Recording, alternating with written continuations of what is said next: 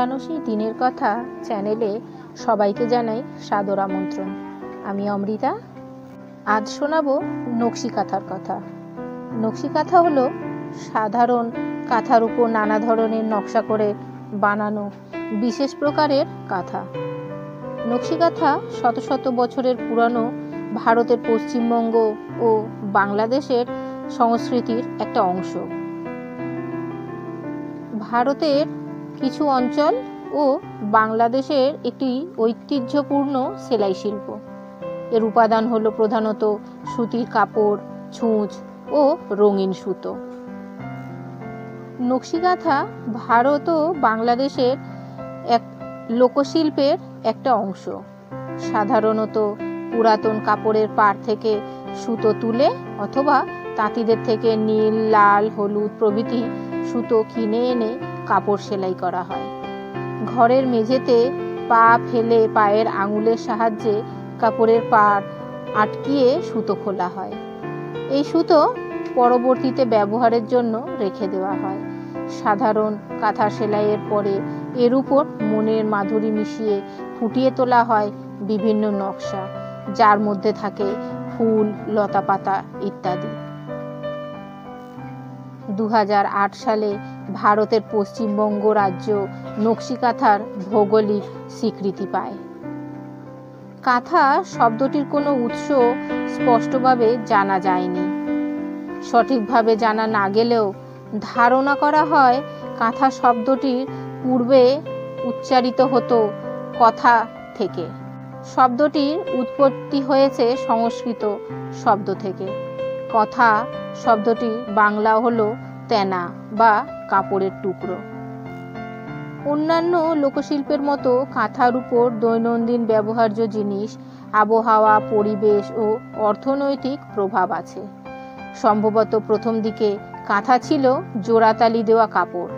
পরবর্তীতে এটি থেকেই নকশি কাঁথার আবির্ভাব। পাঁচশো বছর আগে কৃষ্ণদাস কবিরাজ রচিত শ্রী শ্রী চৈতন্য চরিতামৃত বইয়ে কাঁথার কথা সবার প্রথম পাওয়া যায়। পল্লী কবি জসিমুদ্দিন একটি বিখ্যাত কাব্যগ্রন্থ নকশি কাঁথার মাঠ। গ্রামাঞ্চলের নারীরা পাতলা কাপড়, প্রধানত পুরানো কাপড় স্তরে স্তরে সজ্জিত করে সেলাই করে কাঁথা তৈরি করে থাকেন। কাঁথা মিতব্যয়িতার একটি উৎকৃষ্ট উদাহরণ। এখানে একাধিক পুরানো জিনিস একত্রিত করে নতুন একটি প্রয়োজনীয় জিনিস তৈরি করা হয়। কাঁথা তৈরির কাজে পুরানো শাড়ি, লুঙ্গি, ধুতি ইত্যাদি ব্যবহৃত হয়। প্রয়োজন অনুযায়ী কাঁথার পুরুত্ব কম বা বেশি হয়। পুরুত্ব অনুসারে তিন থেকে সাতটি শাড়ি স্তরে স্তরে সাজিয়ে নিয়ে স্তরগুলোকে সেলাইয়ের মাধ্যমে জুড়ে দিয়ে কাঁথা তৈরি করা হয়। সাধারণ বা কাঁথা ফোরে তরঙ্গ আকারে সেলাই দিয়ে শাড়ির স্তরগুলোকে জুড়ে দেওয়া হয়।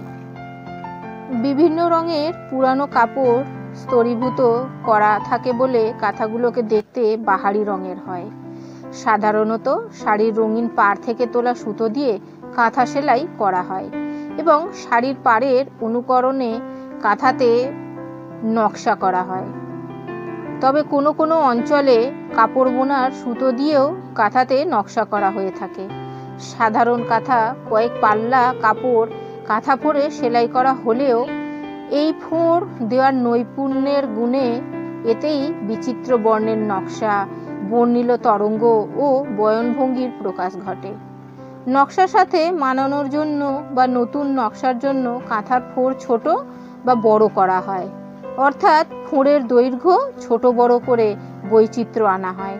উনিশ শতকের কিছু কাঁথায় কাঁথা ফোঁড়ের উদ্ভাবনী প্রয়োগকে কুশলতার সাথে ব্যবহারের ফলে উজ্জ্বল চিত্রযুক্ত নকশা দেখা যায়।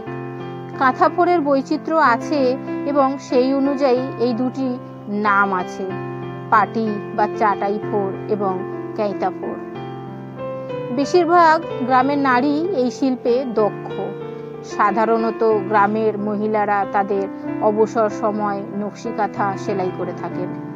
এক একটি কাঁথা সেলাই করতে অনেক সময়, এমনকি এক বছর সময়ও লেগে যায়। নতুন জামাইকে বা নাত বউকে উপহার দেওয়ার জন্য দিদিমা, ঠাকুমারা নকশি কাঁথা সেলাই করে থাকেন। এক একটি কাঁথা সেলাইয়ের পিছনে অনেক হাসি কান্নার কাহিনী থাকে।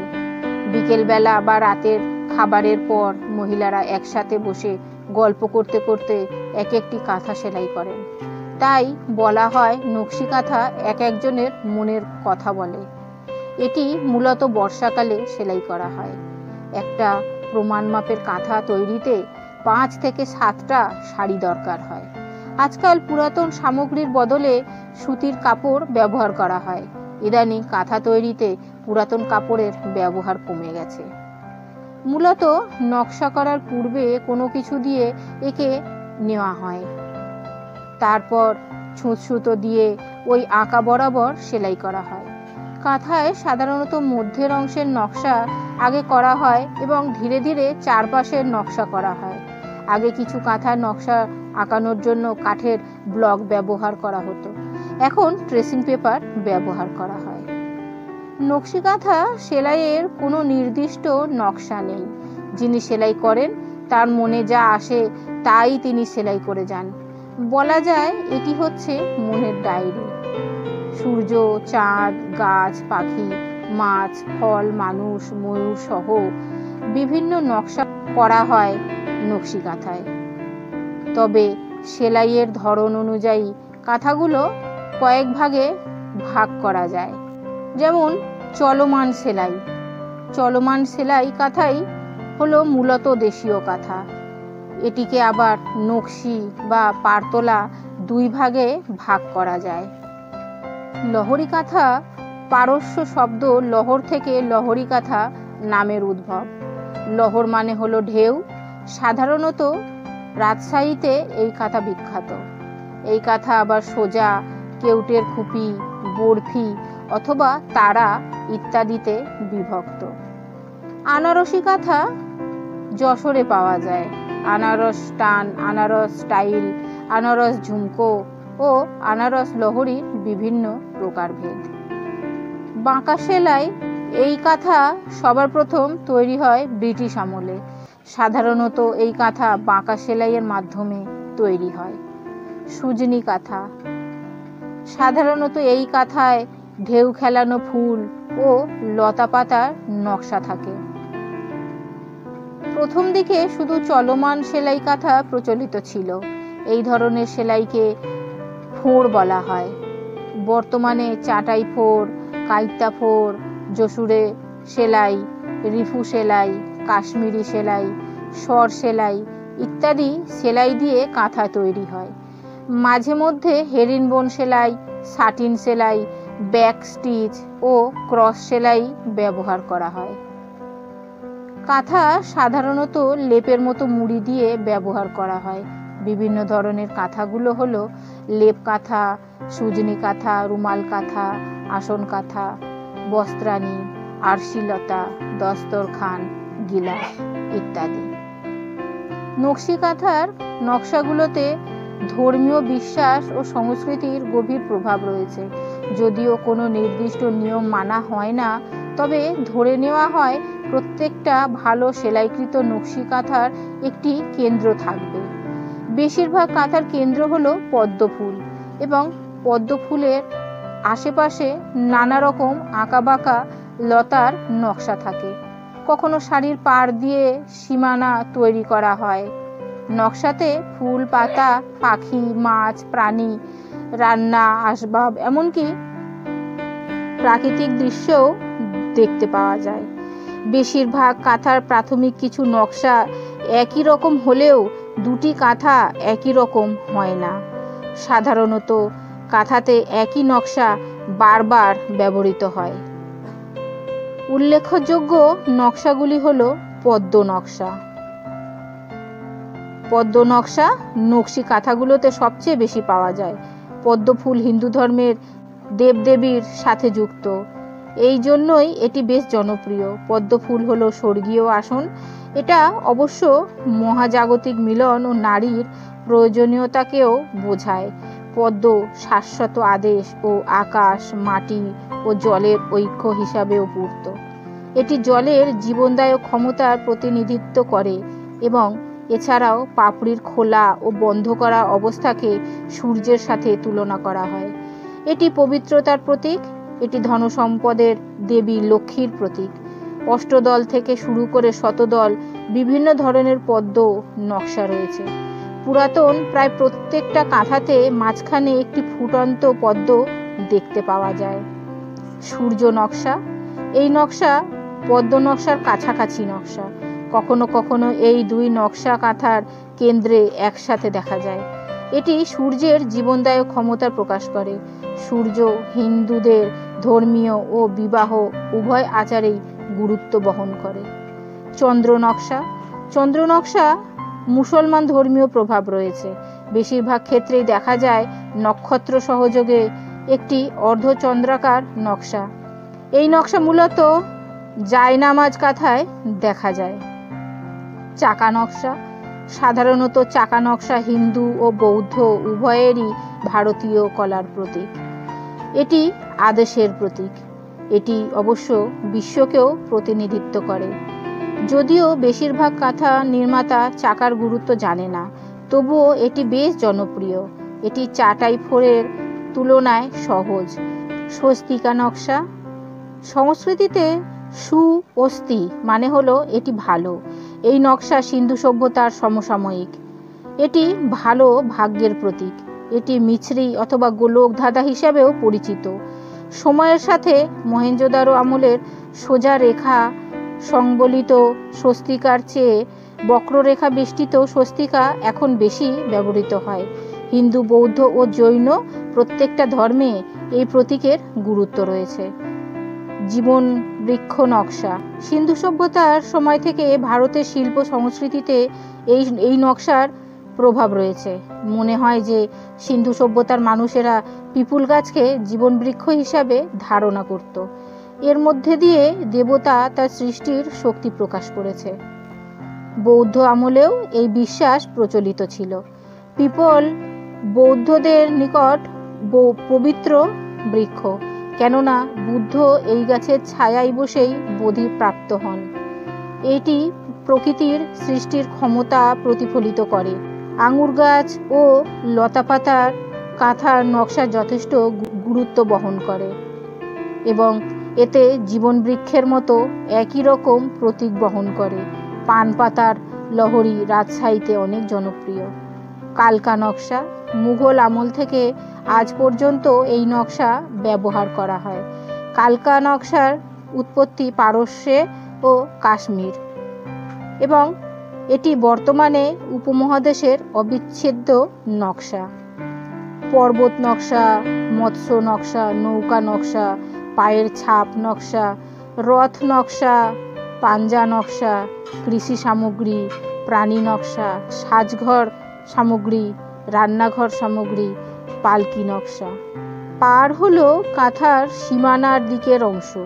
বেশিরভাগ নকশি কাঁথার পার আছে। কোনো কোনো ক্ষেত্রে এটি শাড়ির পাড়কেই কাঁথার পার বানানো হয়। কখনো নকশা সেলাই করে পার বানানো হয়। সাধারণ পারগুলো হলো ধানের শীষ অথবা খেজুর চারি পার বিছে পার বেকি পার বরফি পার চোখ পাড় তাবিজ পাড়, মালা পাড়, মই পাড়, গাঁট পাড়, চিক পাড়, নোলক পাড়, মাছ পাড়, পাঁচ পাড়, বাইসা পাড়, আনাজ পাড়, শামুক পাড়, গ্রেফি পাড়, কলম পাড়। গ্রাম্য মহিলাদের মিতব্যয়িতার ফলে গড়ে ওঠা এই শিল্পকর্মের মাধ্যমে রূপকথার গল্প, ধর্মের উপাখ্যান, ব্যক্তিগত জীবনের নানা উত্থান পথনের কথা চাওয়া পাওয়া, আশা, হতাশা, এমনকি গ্রাম বাংলার প্রকৃতির সৌন্দর্য উঠে এসেছে মহিলাদের ধৈর্যের চূড়ান্ত গুণ হিসাবে। ছোট শিশুদের ভূমিষ্ঠ হওয়ার পর টাকার থলি বটুয়া হিসাবে, মৃদু শীতে বা বর্ষায় ঠান্ডায় দেহ আবরণ হিসাবে ব্যক্তিগত জিনিস লুকিয়ে রাখা, বালিশের কভার, বিছানার চাদরে টেবিল ক্লথ রুমাল, টুপি, নানা ক্ষেত্রে নিপুণ শিল্পকর্ম ফুটে ওঠে। তবে নকশিকাথার বেশিরভাগ এখন বাণিজ্যিকভাবে ক্রয় বিক্রয় হয়। পল্লী কবি জসিমুদ্দিনের নকশিকাতার মাঠ যেমন উঠে এসেছে, তেমনি ছেঁড়া কাঁথায় শুয়ে লাখ টাকার স্বপ্ন দেখার মতো বাগধারাও জনশ্রুতি হিসাবে চিরন্তন। তবে বর্তমান প্রজন্মের মেয়েরা আধুনিকতার ছোঁয়ায় গড়ে তুলেছেন বিভিন্ন বুটিক সেন্টার। ঘর সাজানো, পাঞ্জাবি, ব্লাউজ, সাইড ব্যাগ নানা স্থানে অসাধারণ শিল্পকর্ম নিদর্শন মিলছে। সেলাই নিয়ে পড়াশোনা করছেন অনেকে, কিন্তু আগেকার মা ঠাকুমার সেলাইয়ের সংখ্যার অতীব কতিবয় সংখ্যায়। তবে সেলাই মেশিনের মাধ্যমে গার্মেন্টস শিল্পে উন্নতি লাভ করছে অনেকটাই। তবে এখনও নদিয়া সহ বিভিন্ন জেলার গ্রামে ব্যবসায়িকভাবেই মা ঠাকুমারা পুরনো ছেঁড়া শাড়ি দিয়ে ব্যবহৃত লুঙ্গি, বিছানার চাদর, নানা বাতিল বস্ত্র দিয়ে মজুরির বিনিময়ে সেলাই করে থাকে কাঁথা। তবে তাদের মতে, এখন মহিলারা শাড়ি পরেন কম। তাই পুরানো শাড়ি থেকে নতুন কাপড় দিয়ে সেলাই করতে হয় অনেক সময়। অতীতে পুরানো শাড়ির পাড়ে সুতো দিয়েই সেলাই করা হতো। এখন বিভিন্ন রং বেরঙের সিল্ক, ধাগা, রেশম, উল সেলাইয়ের উপকরণ হিসাবে বেছে নেন কাঁথা শিল্পীরা। আর বর্তমানে নকশি কাঁথা, ঠিক কাঁথা হিসাবে ব্যবহৃত না হলেও এই কাঁথা সেলাইটাকে অন্যভাবে কাজে লাগানো হয়। কাঁথার প্রচলনটা অনেকটাই কমে গেলেও এই শিল্পটাকে আমরা বাঁচিয়ে রাখছি। বাঁচিয়ে রাখছি শাড়িতে, ব্লাউজ জামা কাপড়ে এই কাঁথা স্টিচ করে আমরা সেই পুরনো ইতিহাসটাকে ধরে রাখার চেষ্টা করে চলেছি। বেঁচে থাকুক আমাদের নকশি কাঁথা এখানে শেষ করলাম। ভিডিওটি দেখার জন্য অনেক ধন্যবাদ। নমস্কার।